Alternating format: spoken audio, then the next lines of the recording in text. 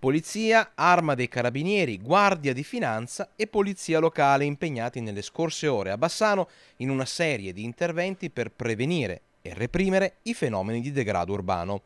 Complessivamente sono stati controllati 36 autoveicoli, 91 persone e 5 esercizi pubblici.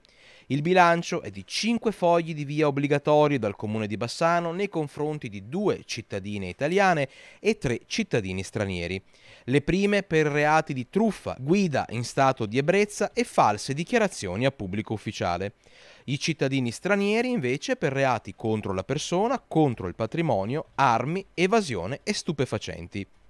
Due invece gli ordini di allontanamento dal territorio nazionale nei confronti di un cittadino algerino di 72 anni e di un marocchino di anni 36 che durante i controlli sono risultati irregolari in Italia.